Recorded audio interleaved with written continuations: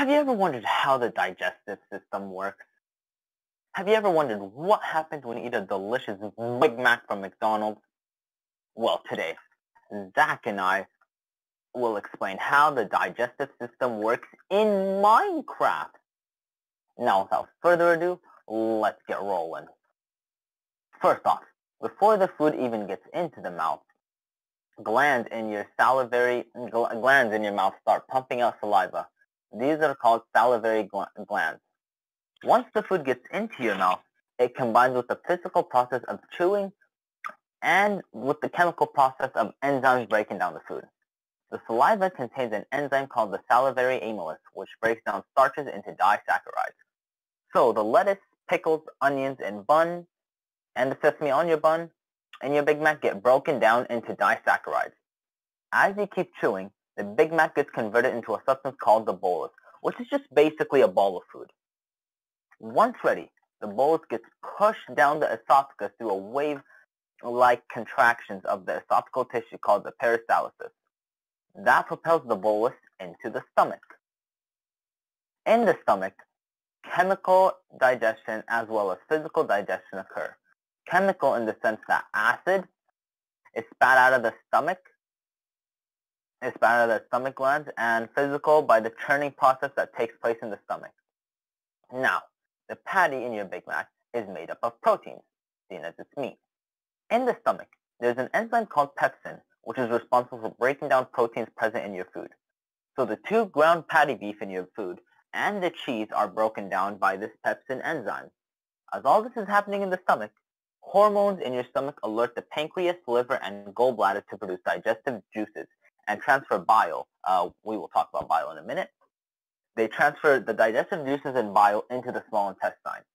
So after three hours, the bolus, now called chyme, which is now liquid substance, enters the small intestine. Simultaneously as the chyme is making its way into the small intestine, the, the pancreas delivers a fluid containing multiple enzymes to the small intestine. These enzymes are each responsible for breaking down different types of molecules. The trypsin and, and chymotrypsin are responsible for breaking down proteins into amino acids. So the patty and cheese in your Big Mac is further broken down. Once the chyme, once the chyme and enzymes mix in the small intestine, it's not completely broken down because it's because uh, the patty also made the patty and cheese are also made up of lipids, which have rarely been touched yet. Another enzyme is the pancreatic amylase. This uh, this enzyme digests starches and uh, breaks them down into disaccharides. So the lettuce, pickle, onion, and buns get broken down by this enzyme. Finally, the final enzyme we will talk about is, is, lipase, is lipase. This is, this is responsible for breaking down lipids into fatty acids. So the patty and cheese in your Big Mac are now completely broken down to their smallest components. And your Big Mac as a whole is now completely broken down. As these enzymes are being produced in the pancreas, the liver is producing bile salts which help the lip, the, which help the lipase produced by the pancreas break down fats into the small intestine by emulsifying lipids. With the bile produced by the liver, the gallbladder stores it until the next meal. It then injects bile salts into the small intestine. The small intestine then absorbs macromolecules, proteins, carbohydrates, and lipids using special enzymes for each along with the tiny villi arranged in segmented folds. On these villi exist microvilli to absorb smaller molecules that the villi can't absorb as the food is getting absorbed, that's not, it's not over yet. Fiber, water, dead cells, and waste material go to the large intestine. It does not digest food.